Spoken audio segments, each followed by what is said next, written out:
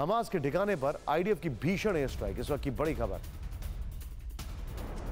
Hamas की military site guard post तबाह की गई। हमास के ऑब्जर्वेशन पोस्ट कंट्रोल रूम उड़ाया गया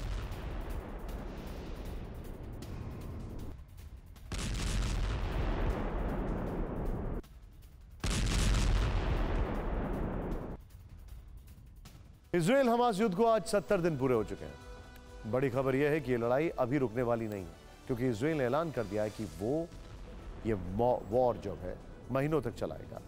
इस ऐलान के साथ गाजा में आईडीएफ के हमले तेज हो गए हैं। दूसरी तरफ़ हमास के डिप्टी चीफ और सात अक्टूबर हमले के मास्टरमाइंड सिंदवार पर शिकंजा कस गया इसराइली फोर्सेस सिंदवार के बारे में सुराग देने पर इनाम का ऐलान कर दिया सिंदवार पर इनाम की पूरी डिटेल हम आपको बताएँगे, लेकिन पहले कैसे जवालिया कैंप और शेजिया के इलाकों में हमास लड़ाकों और इसराइली डिफेंस फोर्सेस के बीच भीषण जंग चल रही है, इसकी तस्वीर देखिए।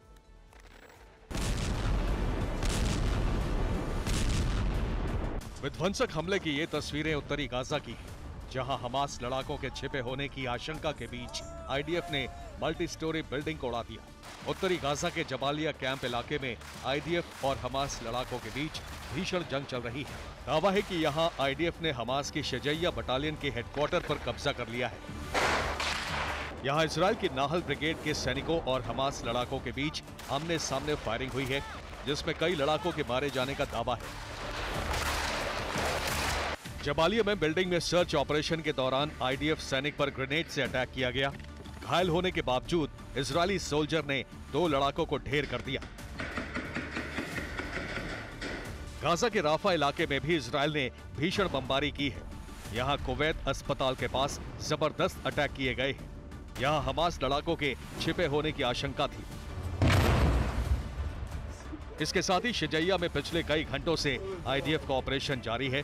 इसराइली टैंकों ने हमास के वेपन डिपो पर शेलिंग की है। शेलिंग में बिल्डिंग पूरी तरह जमींदोज हो गई।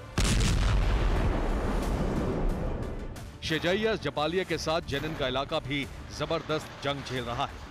जेनिन में फलस्तीनी वेपन डिपो पर इसराइल ने विध्वंसक एयर स्ट्राइक। आईडीएफ ने विस्फोटकों से भरी बिल्डिंग को नेस्तनाबूद कर दिया। जेनिन में ही इसराइली आर्मी ने हमास के कई हथियार जब्त किए हैं।